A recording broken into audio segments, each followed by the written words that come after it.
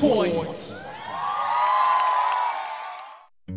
작은 방 창가에 기대어 아무도 모를 노래를 부른다.